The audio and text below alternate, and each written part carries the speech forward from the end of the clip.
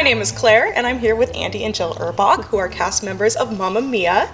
I'm so excited to talk to you guys today. How are you? Good morning. thank you. Awesome. And would you like to introduce yourselves, talk about your role in the show, and also talk about how you first got involved with San Juan Community Theater? I'm Jill Urbach, and I play Donna in Mamma Mia. And um, let's see, we moved here in 2004. Four. A couple years after we moved here, I was like itching to do theater again because that was my background. They were auditioning for one of the playwrights festivals. And so I said, okay, I'll show up, and that was the start. Awesome. Do you remember what year that was? Probably 2006. Wow, so you've been doing theater here for quite a while then. Quite a while, yeah. How did you first become involved in theater in general? I did a play in high school, senior year, where I had literally one word, one line, one word. It was Pippin. It was it was in Pippin, and then when I went to college, started kind of dabbling there, even though it wasn't my major. Ended up by senior year.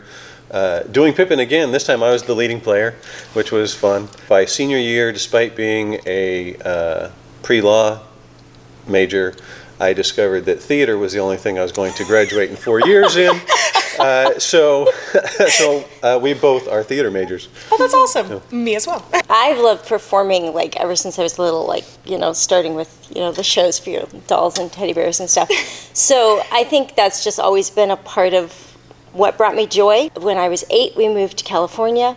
I got started getting involved in like doing background work and then commercials and that kind of stuff just because that's what you do if you like it and you can get into it. Same thing actually in college. Although I enjoyed acting, I was like, well, I don't need a degree for that. I'll get a degree in something more practical. But when theater is what you do, and those are all the classes you take, that ends up being what you Yep. get your degree in. I have been there, so I, I totally understand.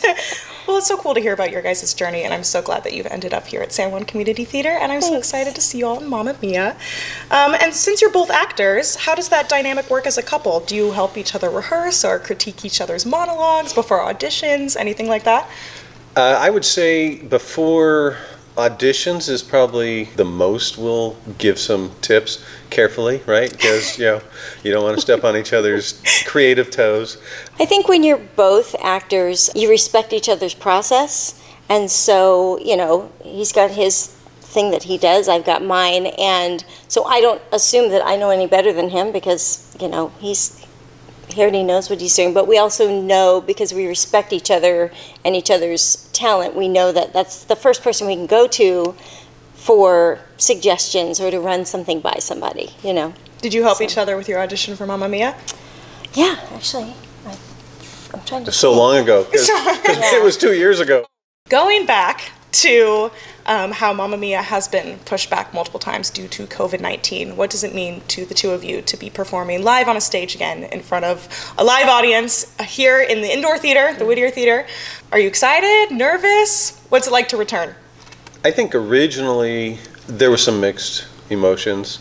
Um, you know, the the excitement of doing a show again, um, but yeah, with a lot of unknowns, both personally and and like community wise, uh, are people going to feel comfortable coming back out to the show? Um, but on the personal level, once we started rehearsals again, you know, it all kind of goes out the window and it's like, yep, rehearsal, here we go. You know, and, and it, it seems very normal, which we weren't sure, at least I wasn't sure if that was going to be the case. Yeah. I debated how how honest to be with this answer, um, because to be, I am a homebody and I am good like being on my own or like at home. I don't know. The, the pandemic, in that sense, I think wasn't that hard for me. I was fortunate in that way. I found myself when it, one not feeling like I could count on this because it's happening. No, it's not. It's going to happen. Yeah. There's the delta. You know all that stuff, and I found myself going maybe I'm done acting. You know, I'm I, I I'm okay if the show doesn't happen. And now that I'm back in rehearsal, I think what it's doing is reminding me that I love to do this, and I and it's reconnecting me with people that I think the pandemic just kind of. You know, everything's kind of muffled now, and everything's through a filter in a way, as far as your emotions and your your passions and your how excited you get about things. And so it's forcing me to sort of like break through that and go, "Oh yeah, this is fun and I'm reconnecting with people. People are good, you know." So, it's a good thing. That's so great. Yeah. I've also have felt the, you know, kind of lull of, you know, no theater or no traditional theater for the past two years now Yeah. and kind of going, what am I, you know, ready to go back and then getting back and being like, wow, this is this is great. Once you're in the space and you are with the people again and in the rehearsal process, it's completely different. Even sitting here, you know, you, I when I walked in the lobby, I've been in the box office area. You know, no, I've been in the lobby, haven't been in the theater, and I was like, oh my gosh, like it was kind of like going home. Like I went to go get a cup, and I know exactly where to go to go get a cup because oh yeah, I've done the concessions, and you know, but it's it's it's like coming home in a way, and you forget that there's just this. Even just walking into the actual theater part and the house, there's just this energy that's just here that's just waiting for us to come back, you know. So Yes, I love that. I love that. Um, and why do you think Mamma Mia is an important show for us to do right now and for audiences to see? Well, okay. So I actually think that, you know, back in 2019 when it was chosen and 2020 when it was cast and we started, we had no idea there was going to be a, a pandemic. But I'm a person of faith and God knew. And I think, I, I just think that there's a reason that it's Mamma Mia. Like, like some people might be like, yeah, Mamma Mia, but God was like, you have no idea. 2019, you're going to want to show, or, or 2021, you're going to want to show that, you know, people just leave singing, you know, that people just feel good about. Maybe it reminds them of a time that was happy and joyful. And then there's the themes of like, friendship and second chances and you know um, carpe diem There's a reason But- it wasn't Mother Courage. Or, right uh, right or Les Mis or something Yeah. you know so i think it's the perfect Upbeat, show happy, yeah leave yeah. audiences smiling. People Mm-hmm. will definitely leave singing the songs and humming the tunes. Yeah, whether they want to or not. True. Yeah. Very true. And just for fun, other than the characters you two are playing, who are your favorite characters in the show of Mamma Mia? I like Tanya. Yeah, I mean, everyone hilarious. loves Tanya. She's fun, she's funny. She doesn't live in the past. She doesn't, you know, sit there like bemoaning bad choices she may have made. She just has no regrets. She's just like, next, you know? True. Yeah. Yeah. What about you?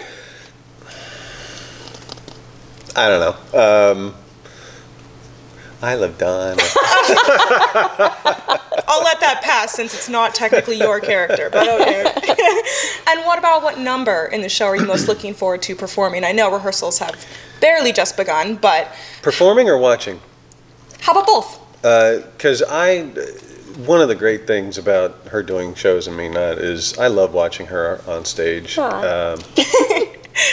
Because she's so good. Um, and the even last night in rehearsal, she didn't even sing the song. They just got to the scene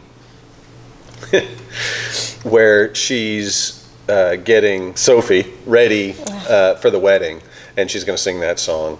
Um, and our younger daughter is in France. We just sent her off a week ago For the year. for the year. Yeah. Uh, so I know that you know there's all these emotions that are going to be in that song, and uh, even without her singing it, you know, you start getting choked up and like, okay, so it's gonna be it's gonna be interesting. Yeah. I am not looking forward to performing that song because I can't even rehearse it. I can't sit in the car and like practice it without like starting to cry. I'm sure by the time the show happens, I'll be in character and I'll because you want to feel the song, but as an actress, you need to be able to like Stop. not actually cry so that you can finish performing it. And I can't yet. That's the slipping through my fingers song.